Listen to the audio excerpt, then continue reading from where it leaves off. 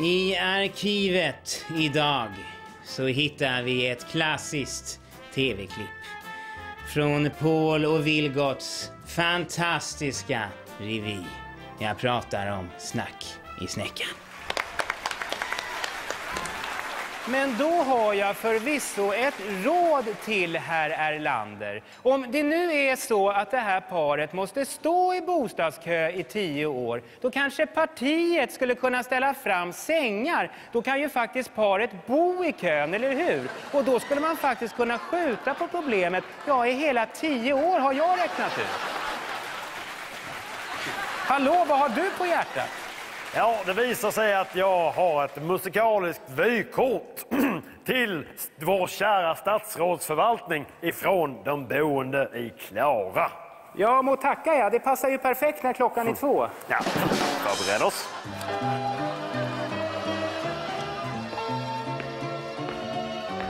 Dagens paroll det tycks vara Riv gammalt, riv ner, bygg nytt. Säg vem byggde gropen som blivit en mask för tider som flytt. Men den som gräver en grop för andra faller ofta själv där i. Nu är konstnärens barndom där bara en bild upp på minnets staffli. Yeah!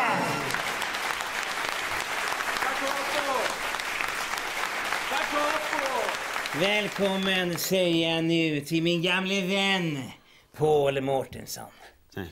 Hur tänkte du och Vilgot när ni stack maktens män med era verbala floretter? Ja, det, det, det kom ju till en punkt då när vi, vi bara skrev och skrev och det var ju helt, helt sönderhyllat så att eh, det, det var inte så, så jävla svårt var det inte faktiskt. Jag undrar om du har lite heppa heppa? Heppa, heppa. Jag har lite heppa, heppa här uppe. Det är den heppa, heppan jag har. Det var inte mycket jag skulle behöva ett helt heppa med heppa heppa.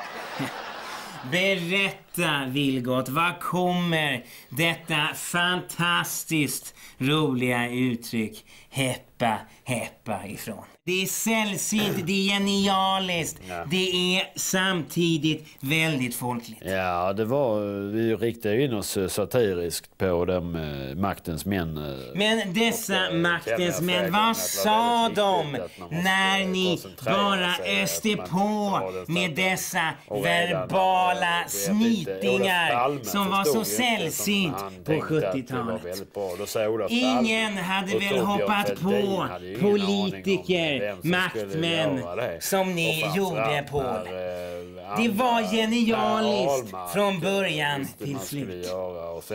Nästa vecka så ska ni få se ett klassiskt Olof, nummer eh, från Willem Adelsohn, Mårtenssons revy Kurragömma i kurran. Stinketong, tinketong med sving och pop och stopp. Och dingelidong, dingelidej och rock och pop och stopp.